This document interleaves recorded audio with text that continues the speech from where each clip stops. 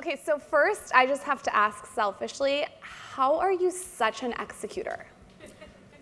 Um, honestly, I've always kind of been that way. I feel like if I have an idea, if it's in my brain, whether it's, you know, having long hair that day or a ponytail or going to get some shoes or, you know, doing a makeup line, it's like I kind of have to do it in the moment. It's like if it's in my head, I'm like, let's do it right now.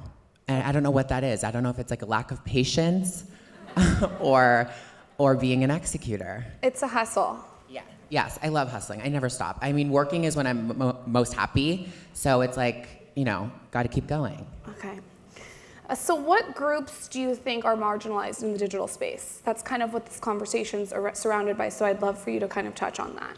Well, a group that's really come to the forefront recently, um, within the past few years, is boys in makeup. I feel like now it's like not a thing to be like, oh my God, he's a boy in makeup. And when I started in my previous gender, I was a boy in makeup.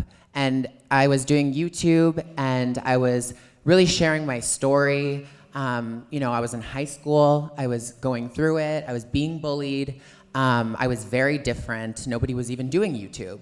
So that's a group that I'm really happy has come out because it's like showing a lot of people you're not alone. You know, you're not that different. You're not, you know, you, you're talented. You shouldn't be like point and gawked at. You should be applauded for being creative and putting yourself out there.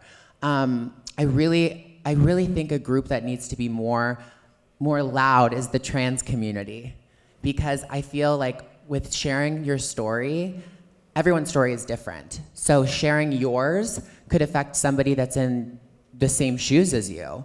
And at the end of the day, I feel like that's what it's all about just being loud, being proud, and being unapologetic. What are some tools that you use to be unapologetic? Like if someone's out there struggling with some, something, what would you say are some tactics or some tools that they could use to help them get through that?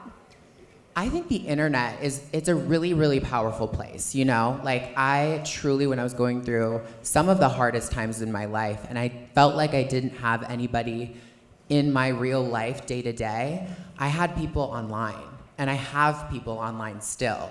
And it's like a place where you can really find like your your tribe. I feel like with things that I say and things that I stand for, it's really powerful to have people behind you that march with you in like you know anything. It's it's it's super surreal to like relate to people on such a deep level and not really know them. But you feel like you know not alone. Community.